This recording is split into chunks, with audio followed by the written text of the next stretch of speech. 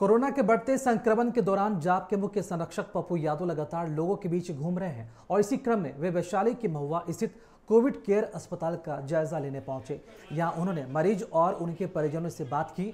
पत्रकारों से बात करते हुए पप्पू यादव ने कहा कि अस्पताल की स्थिति बेहद दयनीय है। यहाँ लोगों का इलाज नहीं, बल्कि उन्हें मौत के मुँह में ढकेला जा रहा है। क्या हुआ था?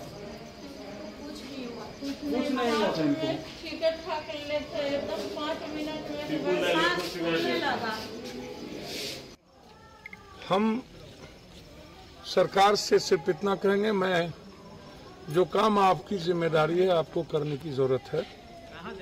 मैं आपको एहसास करा रहा हूँ कि ये मौत सिर्फ़ आपके लापरवाही के कारण, जनप्रतिनिधि के लापरवाही के कारण आपके सिस्टम के लापरवाही के कारण और सिस्टम के जिम्मेदार मुख्यमंत्री और प्राइम मिनिस्टर होते मेरे आँखों के सामने दो लाश निकले अभी।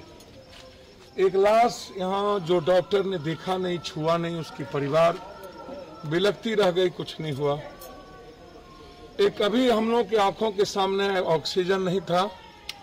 एक घंटा से वो चिल्ला रही थी, कोई डॉक्टर नहीं गया, कोई स्टाफ नहीं, कोई नर्स नहीं।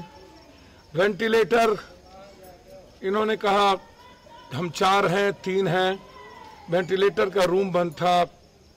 वेंटिलेटर उसमें है या खराब है। ऑक्सीजन लगभग नहीं के बराबर था। 400 बेड की बात यहाँ के जिला प्रशासन कहती है कि 400 बेड है, जहाँ पर ऑक्सीजन ही नहीं है।